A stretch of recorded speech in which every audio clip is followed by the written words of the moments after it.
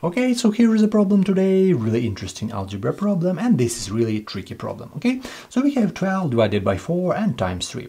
Of course, most of you out there, like, like, yes, I can handle this, this is basic, I learned this stuff in the third grade, we have division, we have multiplication, no squares, no cubes, so we can easily solve it. And right now, I suggest you to mm, go ahead and write your answer down in the comment section. What do you think is a correct answer to this interesting problem, 9 or 1? Okay, so I just want to start it. So we have 12 divided by 4 and times 3. Yeah, so we have this problem. And one part of students solve it like that. This is the first way, how can we how can we solve it? I don't want to tell that is correct or incorrect, but we have this approach. So 4 times 4 times 3, yeah?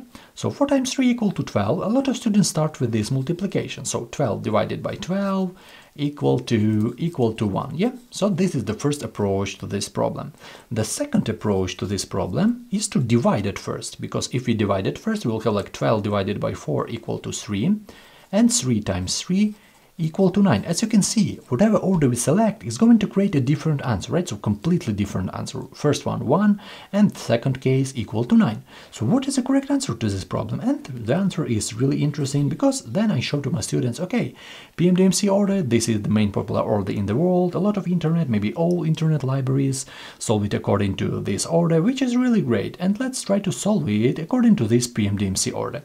This order works from the top to the bottom, so the first step is parentheses parentheses. So are there any parentheses right here? No, I don't see any of those. We don't have any parentheses, which is really great, yeah? The second step, we have exponents. So are there any squares, cubes right here? No, I don't see any of those. We skip these two parts, yeah?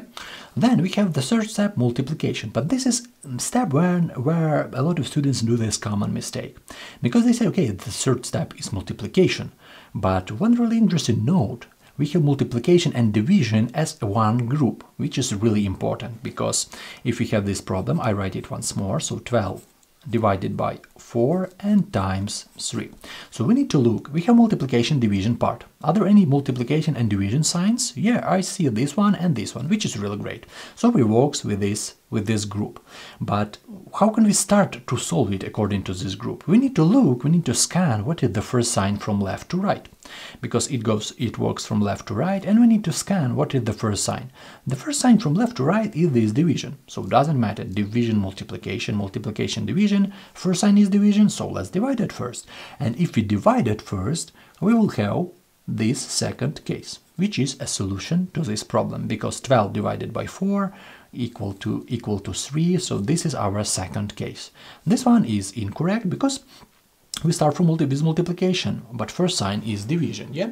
So this is really interesting and tricky problem. Of course, a lot of countries, a lot of discussion about it, but I want to show you my approach. Of course, if you don't disagree with this, you can easily write your suggestion in a comment. How, how do you solve it? How can you how you solve it in your country? Which is which is really great. In our case, option A is correct. You can easily check it in Wolfram Alpha, maybe in different internet libraries, and you can easily check this check this answer.